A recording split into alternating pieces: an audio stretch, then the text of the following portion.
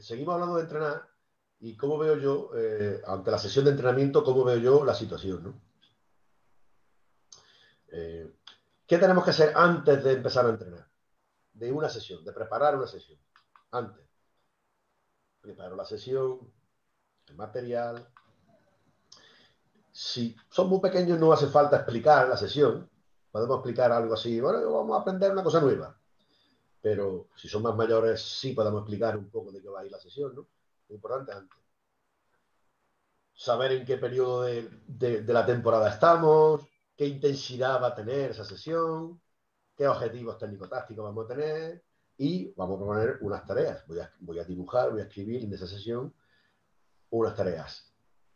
Siempre, siempre, siempre hay que preparar el entrenamiento. Siempre, siempre. Y puede ocurrir ocasional y puntualmente que no lo pueda preparar por lo que sea. Pues puedo acoger al entrenamiento de la última sesión y aplicar alguna variante. Hay quienes son especialistas después de muchos años eh, en improvisar, son especialistas en improvisar.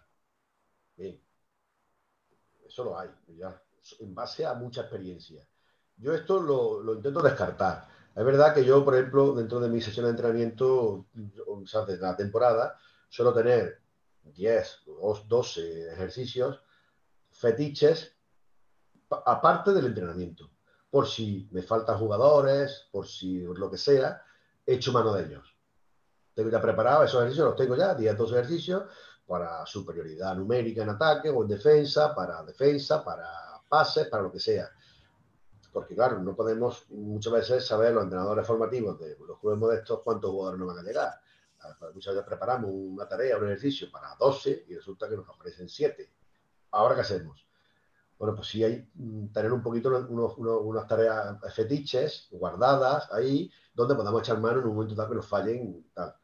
Pero el 99,9% vamos a llevar el entrenamiento preparado, vamos a prepararlo con mimo, con mimo. Que también decía John Budden que había que dedicarle el mismo tiempo a preparar el entrenamiento que lo que dura la sesión. esos son ellos que son muy si entrenamos durante hora y media, hora y media dedicar a, preparar la sesión, me parece un poquito, pero si media hora por lo menos, con dedicadeza, con cariño, con qué voy a trabajar, por dónde vamos, qué estamos aprendiendo, qué podemos, cómo puede seguir la progresión, eso es importante. La razón es porque nos van a mejorar los jugadores, va a mejorar el orden, va a mejorar todo, ¿no? Durante la sesión, ¿qué tenemos que hacer? Intentar desarrollar esa sesión, todo nuestro programa sabiendo que la grandísima mayoría de las veces el 100% no lo podemos hacer. ¿Por qué? Porque mm, el ejercicio que nos sale y nos tenemos que parar más. El que no lo comprende nos tenemos que parar más. O incluso al revés.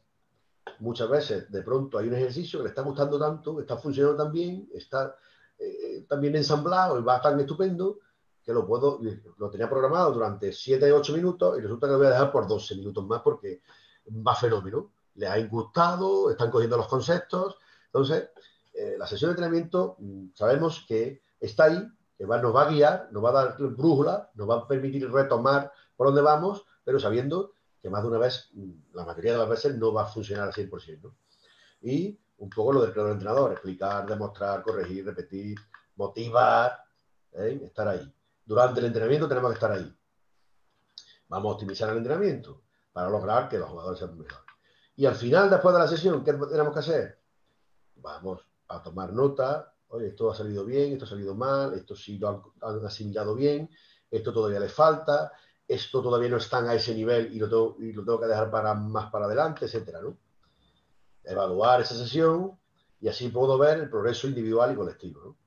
Esto parece muy complejo, cuando uno lo trabaja una y otra vez, luego resulta muy, muy útil a la hora de evaluar eh, su, entrenamiento y sus cosas.